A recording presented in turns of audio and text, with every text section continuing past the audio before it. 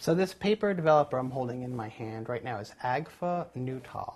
And this is, again, a very, very good paper developer. And there's also a couple different things about Agfa paper that I, I know when I first started I found really interesting. Some Agfa papers have almost a green in it, like a green look, whereas most black and white papers have a degree of either warm or cold. But Agfa has a little bit of a green in it. And also one thing about certain AGFA papers is that they were really popular for a long time. And you see this, this is going to happen more and more with this art form. And then they stopped making the paper.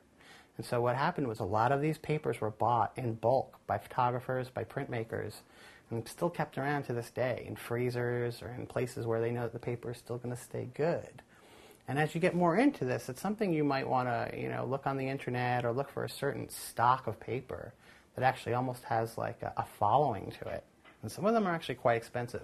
One thing about the Neutol is that it has these dilutions on the back, and that you can actually control how warm, how cold, how you know how this paper is going to look. And I think that that's a very interesting thing. Again, it's a liquid developer, more expensive, and will actually aerate or go bad faster. Like this bottle is actually starting to go to because there's more air inside than when you make a developer from powder.